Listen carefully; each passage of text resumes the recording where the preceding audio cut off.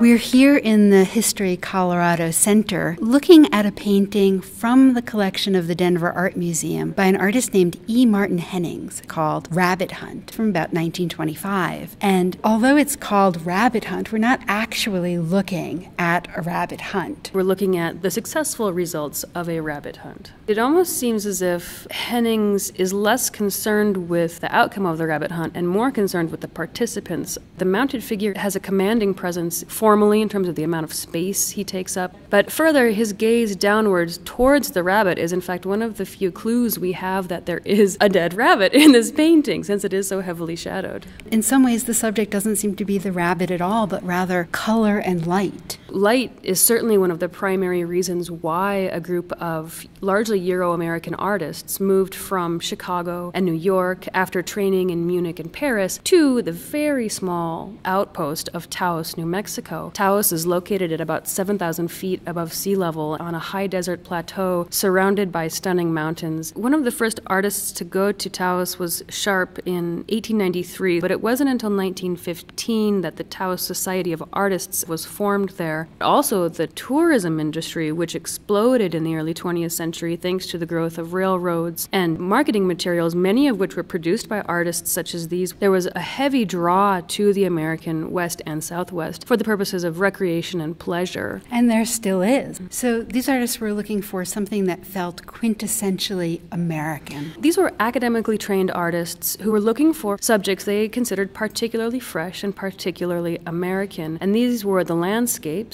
but also the cultures there, the Taos Pueblo Indians and also the Hispanic people who lived in the area and had for many years. Often when I think about Western paintings, I think about paintings of cowboys and Indians that show a tension between those groups. Western American art is often pigeonholed as being documentary when in fact these are flights of artistic imagination. Hennings is not interested in dressing up his figures in outdated clothing or traditional garb, but rather he is interested in the day to day. So we see the mounted figure in a tennis sweater and khakis, but he wears his hair long, braided, and wrapped with cloth, and his moccasins are actually Cheyenne moccasins. We know this because of the design elements, and these would have been regularly traded between tribes. The Cheyenne were known for their moccasins. And so you see, instead of tension between cultures, this is long past the Indian Wars now, a wonderful commentary on cultural exchange as emblematized by attire. And it's so nice to not see an image that is stereotyped in terms of the clothing. There is still something romanticizing here, but at the same time, they're located in the modern world. They're not transported to a distant, exotic past. They're rooted in that particular climate of that particular season and in the activities of their daily life, wearing the attire of their daily life, which does include more traditional blankets, such as you see in the figure in the foreground. When artists came from Chicago, they were looking for something that was